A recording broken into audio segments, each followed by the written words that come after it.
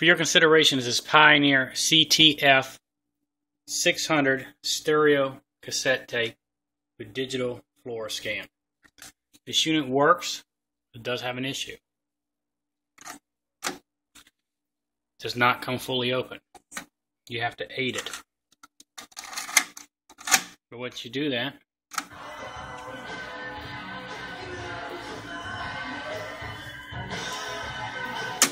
you stop, forward, belt counter is working, you rewind, all is strong, and you have play. This unit is very clean and very presentable. But again, that is what you have.